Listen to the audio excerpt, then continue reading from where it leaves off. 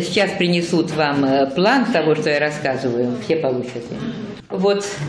И, а мысль, конечно, Оля, что до нас мы вошли в труд очень многих поколений. И мы несем на себе отпечатки этого. По крайней мере, вот э, очень многие мысли стрегольников, ну, какой должен быть пастырь, по-моему, мы принимаем это. Это серьезно для нас. Это у нас просто церковь рушится, в отличие от... Э, вы знаете ли, какая-то бабушка, православный храм там у нее в деревне, умер священник, и она говорит, прислали бы нам кого-нибудь, хоть какого-нибудь, но только чтобы не пьяница был. Понимаете ли, предел мечтаний, чтобы не был пьяница. Ну, понимаете ли, ну у кого у вас пасторы пьяницы? Ну, есть такие пасторы пьяницы? Ну только птицу надо засылать. Ну, нету. Теперь, пожалуйста, в Европе я много поездила. У нас нет. И это очень глубокие корни, что это несовместимо. И это убеждение, которое выстрадано, за которое люди жизнь отдавали. Пастор не смеет быть поставлен на мзде, быть корыстолюбивым, быть пийцей, быть бийцей, он не смеет быть, понимаете ли как? И люди уходили из церкви из-за этого. Э, вот. Так что мы серьезно к этому относимся. Дом рушится, церковь рушится. Мне осталось вам сказать немного про эти...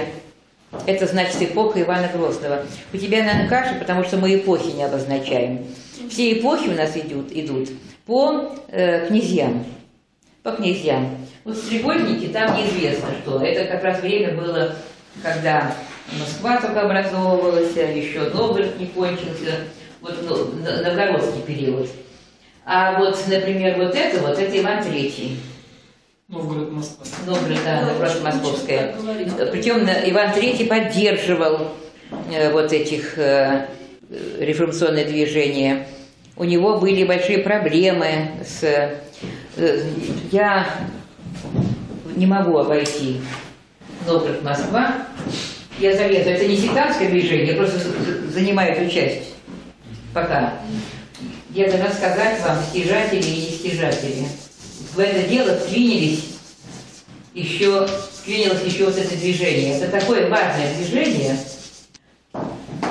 Новгородско-Московское. Почему э, реформационное движение князь поддерживал Иван Третий?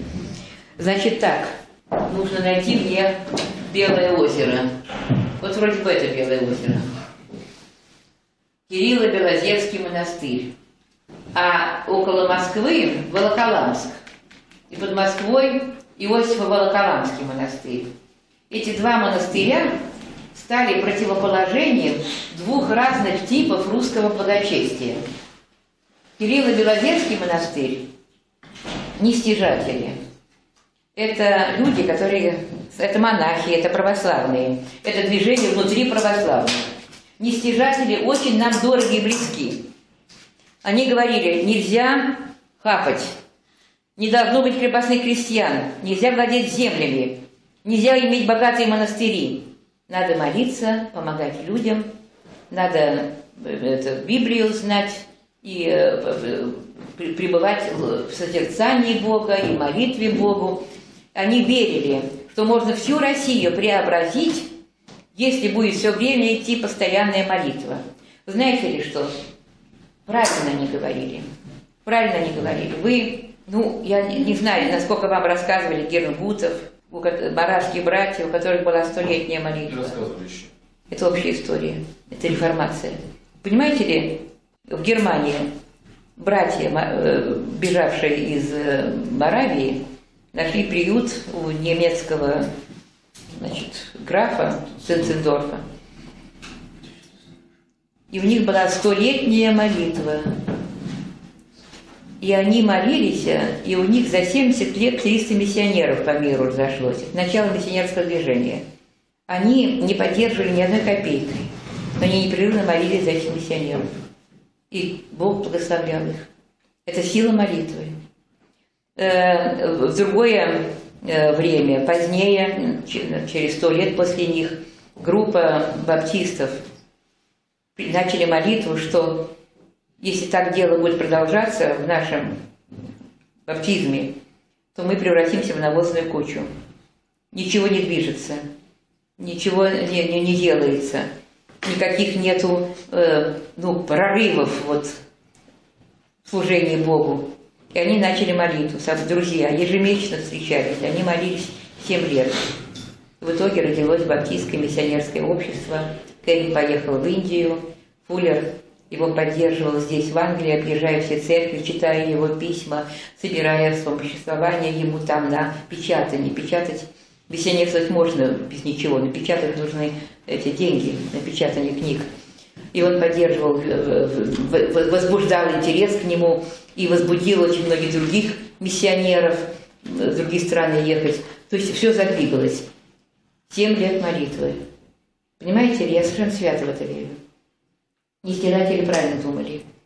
Молящиеся, знаете, люди, которые их даже не видали, знают, там молятся, там молящийся монастырь, там братья молящиеся. И на них оказывает это какое-то действие. Вы знаете, какое-то действие оказывает, ну, Бог верен.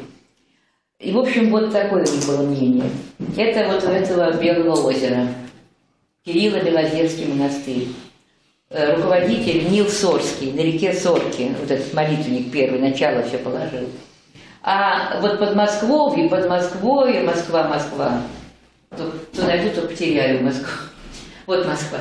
Так вот, там был э, Иосиф Волоколамский. Волоколамск, значит, там был Иосиф, настоятель Иосиф, который говорил, церковь и монастыри православные должны быть богатые, крепкие.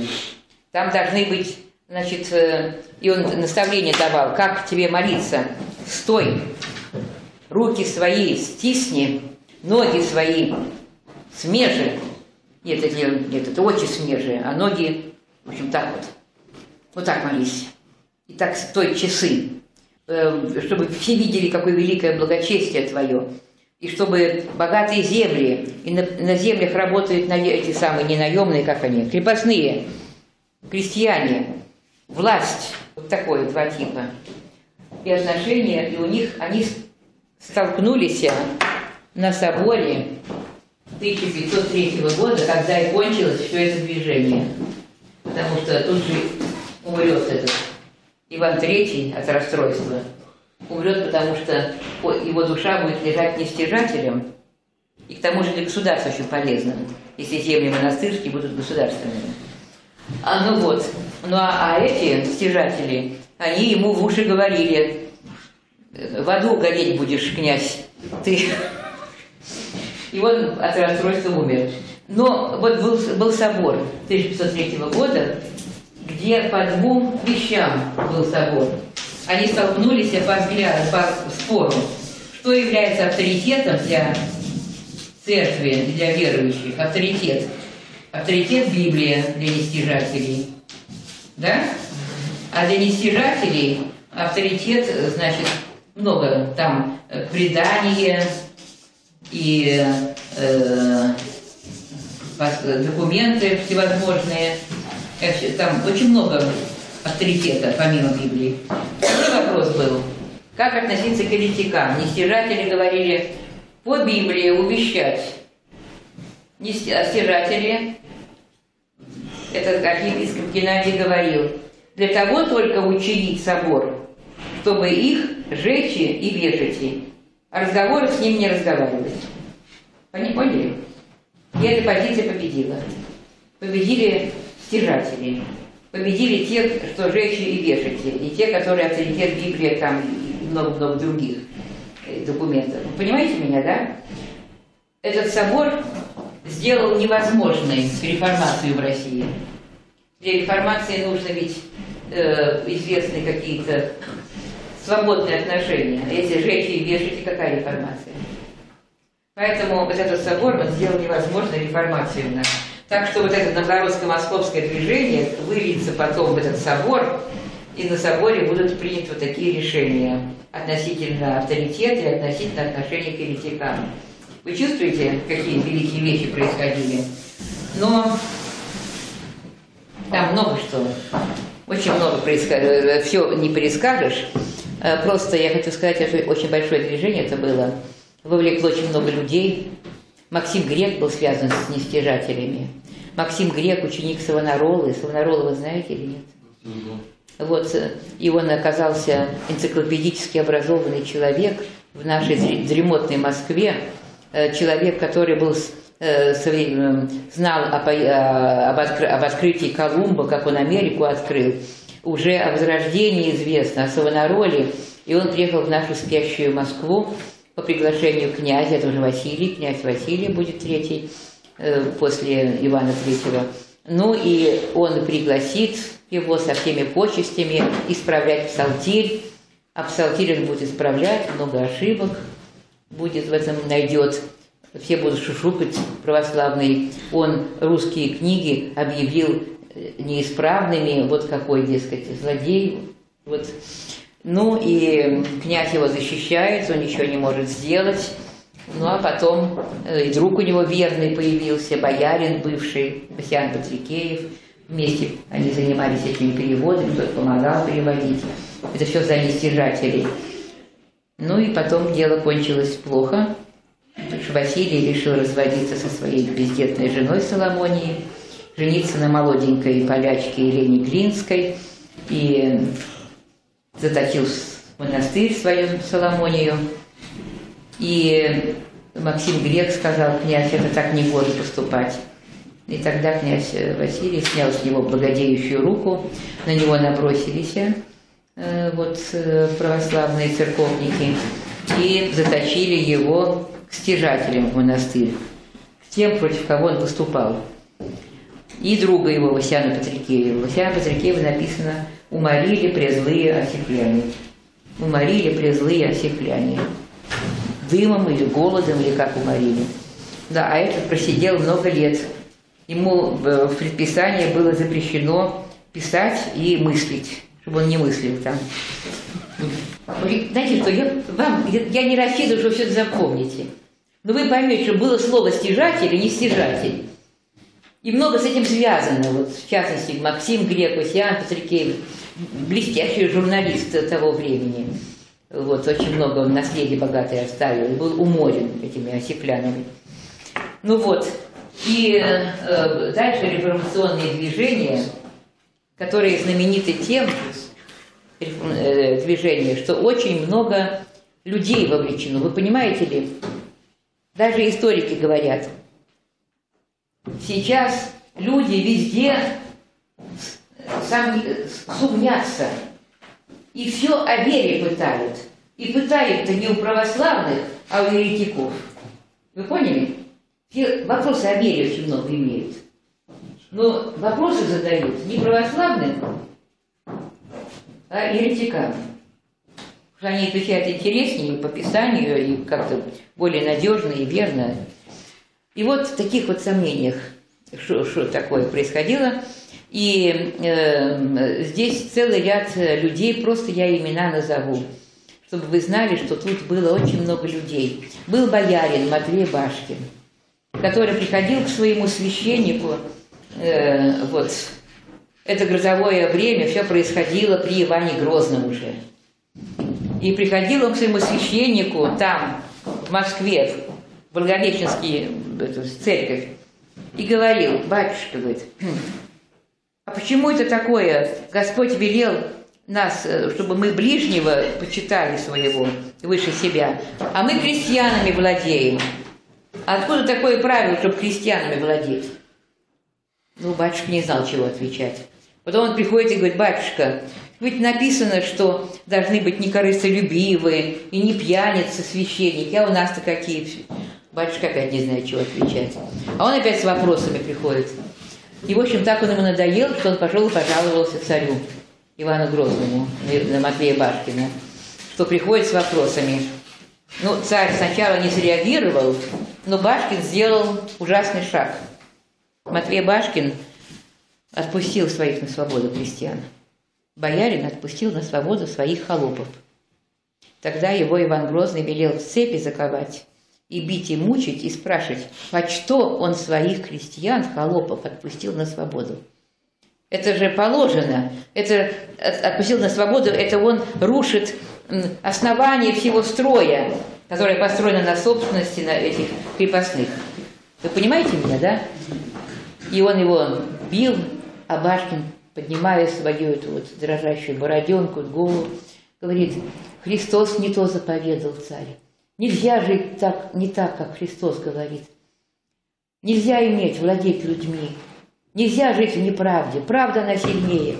И, в общем, его сожгли. Но его вся известность тут и началась, потому что все стали пытать, какие от него тетрадки, и какие тетрадки ходили. И дальнейшие все, вот, вот у меня вся Россия, видите, утыкана черточками. Это все там, где возникали разли- различные сектантские движения. Вы понимаете, они все питались. Кто тетрадочками Башкина, кто какими-то последними словами, там, допустим, Нила Сорского, кто... э, ну, то есть люди питались этим. Где настоящая вера? Вот я в своей книге начинаю, я начинаю со, с, с этой, с цитаты Калева. Понимаете ли, он говорит, можно с уверенностью сказать, что более благоприятной почвы для посева семян Евангелия трудно найти в истории христианства. Православие породило в русском народе великое богоискательство, какого не знал и не знает ни один народ мира. Ищут Бога, потому что нигде его нету. Вы поняли? Ищут, потому что нету его, о нем никто не говорит. Пойдите в храм, что вы там видите? Вы там не видите Христа. Лик Христа скрывается, столетиями скрывается от русского народа. Поэтому богоискательство. Вот они начали. Православие покрыло русскую землю тысячами монастырей и скитов, в которых искали спасение своих душ около ста тысяч монахов и монахинь. Но ни одного не давало православие русскому народу знания Библии.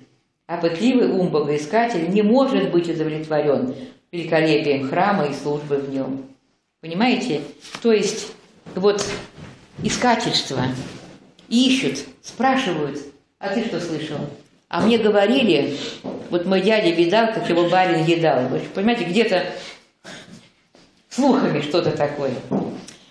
Вот, поэтому много слухов было об этом Матвее Башкине. Но это было время очень бурное при Иване Грозном. Ведь это самая-самая реформация шла. Иван Грозный начал Прибалтику.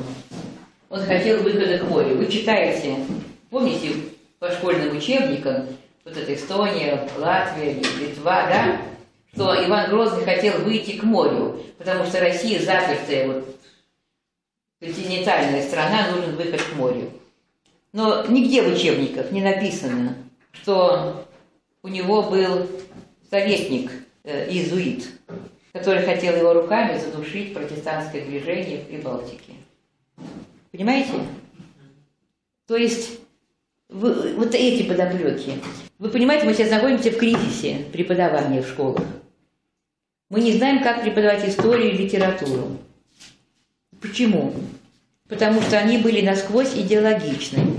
Литература показывали, что она вся готовила революцию великую Октябрьскую.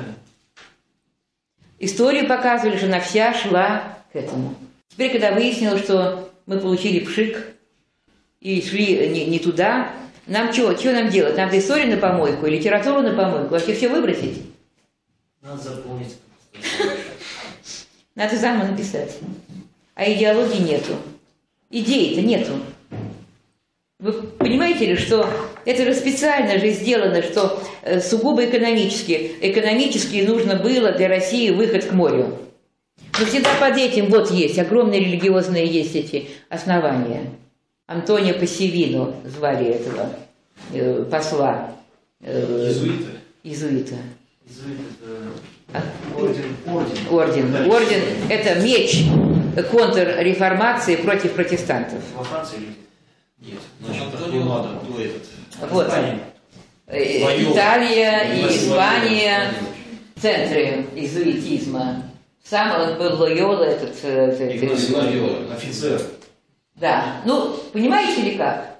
И вот его ру- руками хотели вот это вот захватить. И э, интересно, что многие тогда это понимали. Значит, там был, помимо Матвея Башкина, в, это, в, движениях.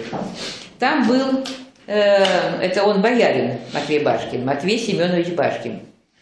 А был еще холоп Феодосий Косой. Феодосий Косой – беглый холоп. Очень радикальная проповедь у него была. Тоже авторитет только Евангелия, против разделения людей на холопов и на э, этих князей, что Бог создал людей всех равными. И он э, тоже свой поступок. Он женился на еврейке. Это было невозможно в то время. Вот он женился на еврейке, потому что это, э, это Божий человек, и, и Бог одинаково людей создал. Э, И нету у Бога разных национальностей. И у него был брат Фома Косой, который был дивный проповедник Евангелия. И оба они бежали в Литву. И русские вольнодумцы, русские вольнодумцы в Литве э, организовывали молитвенные протестантские дома. Фантастика, да?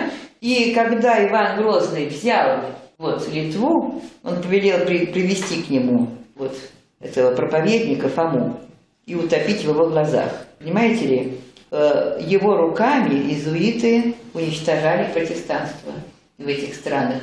И вы знаете, что тут э, про- сильное и католичество, и э, словом с протестантизмом было после страшного уничтожения вот этого разорения, оно э, так как бы на убыль пошло.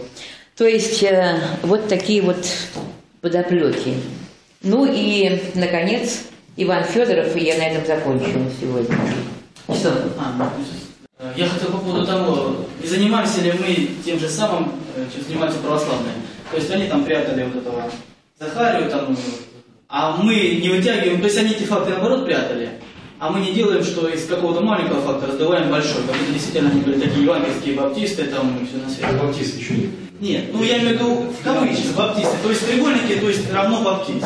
И мы это делаем, получается, так. Не натягиваем ли мы это же равенство? Значит, голубчик мой. Они уменьшают, а мы наоборот натягиваем. э, а как же? Ну, Иоанн Креститель не равен Христу, но Иоанн Креститель не Нет, понимаете, чем дело? По-моему, это правильно. Да, мы берем и вот так показываем, потому что он был совсем задушен. А нам нужно, как он был. Есть такие стихи Некрасова. Мы ловим звуки одобрения не в сладком ропоте толпы, а в диких криках озлобления. Это тоже я делала. В диких криках озлобления я находила эти какие-то вот одобрения, понимаете ли? Потому что мне нравится, как вел себя Васян Матрикеев на суде, я читала рассказ об этом, или как Захария отвечал. Мне нравится, как лютеранский пастор написал, как не- неведомые подпольные церкви его навестили повели себя так, как повели бы вы. Навестив, вы первым делом Божьим Словом почитали бы, да? Потом вот нужду какую-то вот теплом согрели бы, деньгу бы дали бы. Деньгу, видимо, не свою, возможно, община собрала деньги для них. Потому что два ремесленника могли там по рублю дать, а, наверное, доброй деньгой написано судили. Значит, они принесли деньги, которые община собрала. Подпольная, тайная была. И он так пишет, по обстоятельствам тайная. Христова Церковь. Поэтому э, я, если бы у меня не было никаких данных, только это письмо, я бы задала вопрос, а с чего это в Обскове? Я бы стала искать. Там что-то должно было быть. Не на пустом же месте вдруг эти, появилась эта тайная церковь. Поэтому да, да, правильно. Я э, ищу и показываю, и рассказываю, понимаете ли, чтобы э, э, то, что усиленно спрятывалось, да, э, чтобы оно во внимание приняли. Потому что у меня студент был, который слушал этот курс и говорит, надо же, говорит, а я думал, у нас приехали американцы, сделали церковь, только тут все и началось. С 90-го года. Да, 91 1990. Понимаете? Ну так же не должно же быть. И он простодушно так сказал, я бы думал так. Студент. Поэтому, э, вот чтобы так не было, так это я говорю, что много чего было. Мы, мы никак не можем приравнять э, их к познанию э, тому даже, которыми вот мы с вами обладаем. Но мы с вами тоже не все, не, не всем обладаем, как вы думаете? Тоже не, все знаем, но больше, чем они. Но вот они на своем уровне вот так вот сделали. Поэтому я и говорю, есть это, я назвала, я назвала весь этот курс э, это, богоискательство. Ну правильно, это богоискательство. Вот. Но вот Иван Федоров, это было гораздо уже серьезнее, основательнее. Это наш реформатор, который не вступал ни в какие споры и ни в какие конфликты. Его задача была, он понимал так, Божье Слово, как семя, по свету рассевать. Божье Слово по свету, все при Иване Грозном. Вот. Э, и началось с Ивана Грозного. Дело в том, что Иван Грозный взял Казань, взял Астрахань, освободили все большие территории, пустые, там нет православных храмов. Нужны православные храмы, нужны Библии, нету Библии. Служить-то почему-то надо, уж какая там Библия. Богослужебных книг нету. А Иван Федоров, так все совпадение, как раз к этому времени Иван Федоров э, занимался, ужасно его интересовали буковки вот печатать. Он слышал, что где-то вот есть станок, он его не видал. Но он, знаете, самоучки. Он не знал, что там есть, он сам изобрел эти литеры, э, он изучил, как эти, как называется, специальность, которая занимается плавкой металлов. В общем, он это, это изучил. Он изучил потом, значит, он резьба по дереву, потому что эти деревянные доски он красил и делал нарядные заставки. И, в общем, вот и Иван Грозный об этом узнал. Позвал к себе говорит, «Э, мастера, говорит, а можешь ты? А я тебе все дам. И прямо там, э, в, в Благовещенском э, соборе, отвел ему там печатню, дал ему мастера, дал ему денег, дал только вот, чтобы ты мог напечатать Библии для этого. Не хватает Библии. А потом его взял, знаете, сказка, взял его на экскурсию в Кремль и показал ему комнату, где был сундук, а в сундуке были всякие редчайшие рукописи, от руки, конечно, итальянские, там, французские, истории, вот, э, и вот потом все будешь печатать. И до сих пор этот клад ищут. Где библиотека Ивана Грозного? Есть свидетельство, и свидетельство Ивана, Гро... этого, Ивана Федора в том числе, что он сам видал. Не нашли еще этой библиотеки. Ну вот, и а Иван Федоров первую книгу, 1564 год, начало у нас книгопечатания, он напечатал «Апостол», это «Деяния апостолов», первая книга, он напечатал ее, первая, без единой опечатки. Так благоговейный, трепетный, без единой опечатки. Он буковку каждую пробовал так отлить, пробовал это отлить. Он хотел, чтобы низ буковки был толстенький, а верх тоненький, чтобы у нее был устойчивый вид в глазах, чтобы буквы не прыгали в глазах. Вы знаете, очень, это столько секретов есть. Одну книгу легко читали, другую не можешь. Либо прыгает, либо расплывается, либо там тоненькие линии все. А он устойчиво, и он делал широкие поля, потому что поля снашиваются в первую очередь от листания.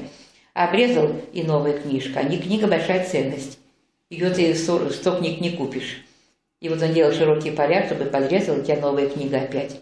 Переплет, как он долго эти искал доски, картинки, чтобы они подходили как-то вот к тому божественному содержанию. Как он вырисовывал заглавные буковки, тоже цветные там эти делал доски. Ну, понимаете, это было труд для Бога.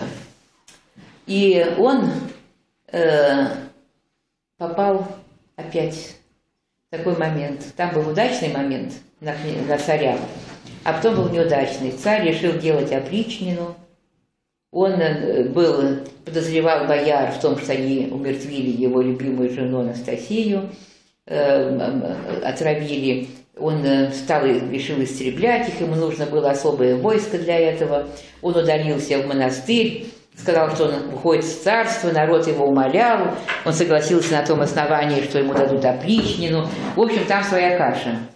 Царю не до Ивана Федорова, а его стали травить православные, потому что говорили, что станок – это дело дьявольское.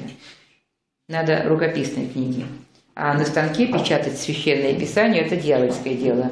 И Иван Федоров, спасая свою жизнь, э, должен был бежать. Сам он написал об этом так. «Безобразие царя лепотнее прикрытии молчанием, яко ризою». Лепотнее – это ну, красивее, лучше. То есть он не стал нигде жаловаться на царя, а он прикрыл его безобразие э, как ризою молчанием. Понятно, да? Очень благородно. Ну вот. И, значит, э, прикрыл его. А сам говорил, что он должен был бежать от священначальник и учитель. Это как такие вот эти окончания были в то время. Э, от их зависти, от их злобы должен был бежать. Он не вернется никогда на родину, никогда его книги, он будет печатать все на Западной Украине, Белоруссия, Западная Украина, Львов. Во Львове он совершит подвиг, последнее самое произведение, дело всей его жизни, это Библия. Эм, очень трудно для Библии было найти подходящий список. Он совершил путешествие в Болгарию, а Болгария под властью была турок. А в монастыре православном хранились все рукописи еще Кирилла-Мефодиевской традиции. И он совершил путешествие в Рильский монастырь в Болгарию, чтобы получить эти рукописи. И э, монахи, которые православные, которые под страшным давлением, да, это сладостные православные. Вы поняли меня? Турки кругом их гонят. Так это один мед. Они его любовно приняли, они ему с ним, с петухов и до темноты с ним сидели, читали, разбирали, собирали. В общем, получилась самая прекрасная Библия э, Ивана Федорова, издана во Львове. И он вскоре и умер в страшной нищете, осаждаемый кредиторами. Нету денег. То у него был спонсор, а потом спонсор отказывал. Один из спонсоров сказал, Иван, да что ты мечешься, давай я тебе дам деньги, купишь хатку себе, земли там будет, и безбедно проживешь свою жизнь на своей земле. Он ответил, мне должно семена по свету рассевать ради братьев, ради ближних моих. Он понимал, что ему нужно быть вот таким миссионером. Это, ну, миссионерство тоже, да, печатано мне должно пищу духовную всем людям по чину давать. То есть кто по чину, ну, кто, кто сколько может этой пищи воспринять, он должен пищу людям давать. Вы послушайте, какая личность этот Иван Федоров чтобы когда он, у него не осталось никого, покровителей, там отказывались. Почему, вы понимаете ли, все помогали, а потом свои крестьяне бунтуют, реформация идет, крестьянские войны там идут, боятся этого протестантизма, а сделал, а он, он протестант. Дело в том, что он написал среди вот между вот этим, между этими я пропустила, там было такое учительное Евангелие, это то есть с комментариями, Евангелие протестантскими комментариями э, Ивана Федорова, учитель на. Ну вот, там были эпизоды много таких очень жалостных эпизодов его жизни, потому что, чтобы заработать деньги, и зная литье, опыт называется, литье, когда буквки делают, зная литье, он пытался предложить э, э, королям в Европе пушку отливать, которая будет вроде наших качух, много стволов, одновременно будет стрелять. Эти короли были очень заинтересованы, просили показать и просили подарить. И денег, денег у королей в кармане ничего не было. Поэтому, значит, так. Вы понимаете ли, что э, вот какой вот э, Иван Федоров, э, и поэтому вот так вот он умер в нищете, его оставил его друг Мстиславец, сказал, что он не может такие удары судьбы выносить вместе. Его оставил родной сын Иван, потому что это отец, я женился, мне нужно семью содержать, и дитя у нас вот есть, я не могу зависеть от твоей этой судьбы такой э, кочевой. Он один остался, все оставили друг, и друзья, и, и- и покровители, и вот сын. И вот он все-таки эту Библию напечатал, и свое дело сделал, и потом Бог его взял, понимаете ли. Это очень интересная история Ивана Федорова, который не участвовал в мятежах, понимаете ли, не, не был революционером каким-то, понимаете ли, но он был реформатором и миссионером, и что хотите. Любое слово скажите, понимаете ли, будет к нему правильно. Такой евангельский был э, человек, Божий человек был, как в то время говорили, Божий человек.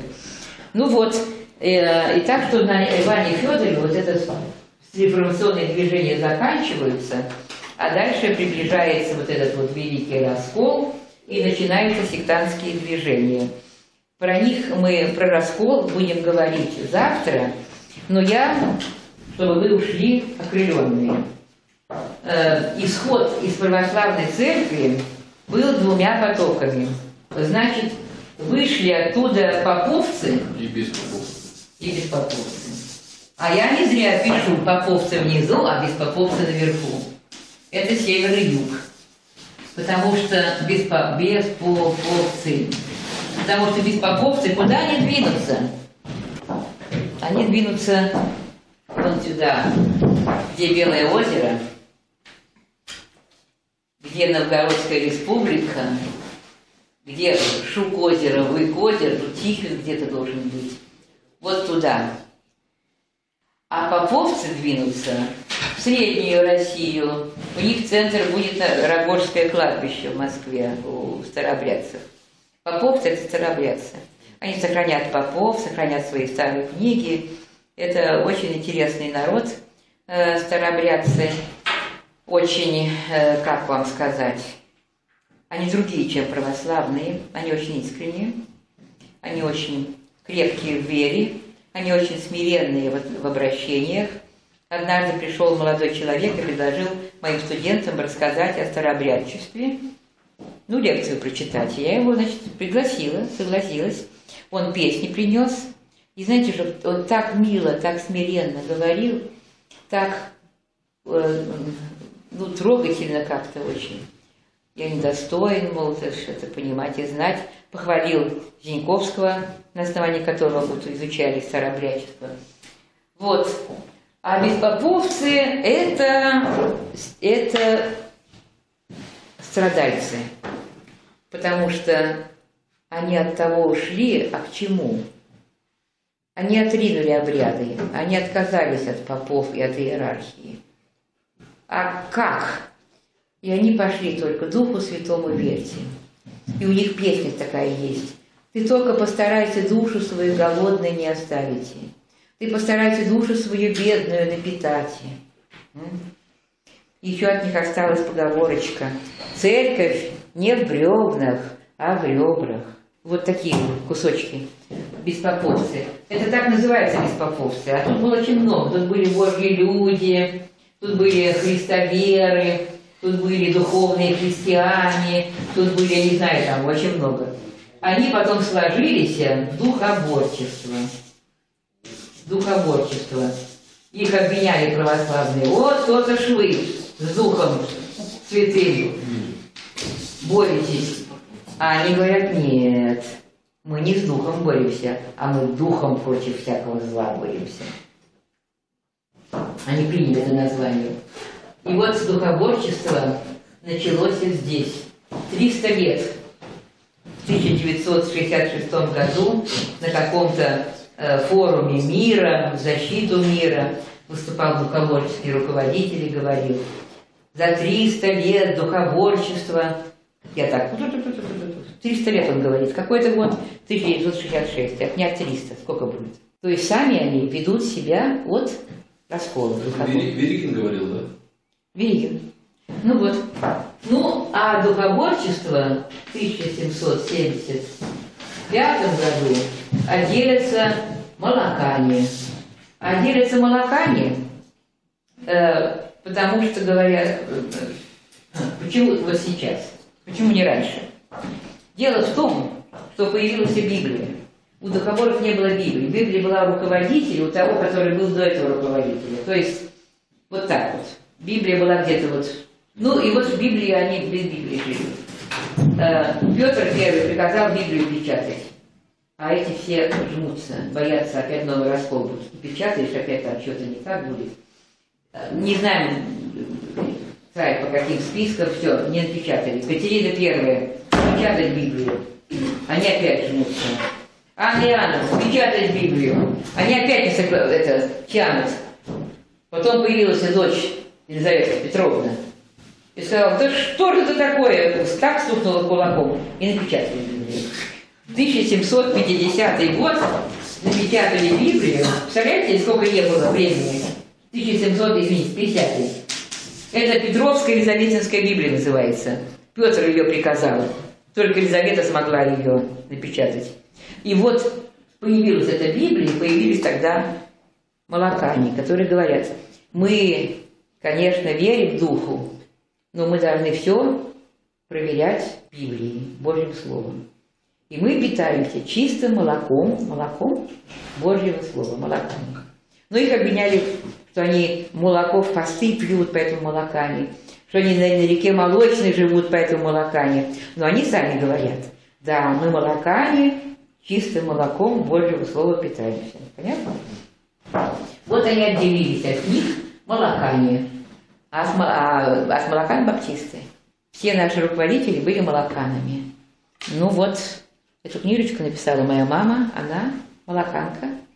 И она первая повесть маленькая. Это очень трогательное повествование, исповедь такая. Молокане, о молоканах. О том, как, это же кто же будет мне, это если отец ее отца, это мой будет кто ж, прадедушка, да? Как его сожгли за веру, еще во времена помещика. Понимаете ли? Он сказался Там кланяться. где-то в Поволжской губернии у него. Да, на, на Волге это все дело было. Понимаете ли, в общем, э, вот э, все наши Проханов из Молокан, Павлов из Молокан, э, Жесков из Молокан, Мазаева из молока. Мазаев из Молокан. В общем, молокане наши предшественники. И мы от них очень много взяли. И по устройству церковному, и по богословию. У нас есть чудный брат, пишет диссертацию э, вероисповедания баптистов. Для этого он взял молоканские исповедания, Карвельское, Прохановское, там, Павловское, это гамбургское вероисповедание. Я никогда не думала, что это так интересно. Нужно будет еще альманах собирать. А, Вот что мы ухитрились с нашим русским богословием и от бабушки уйти, дедушки. Я имею в виду и от Кальвина, и от Армения. Все, мои дорогие. Спасибо.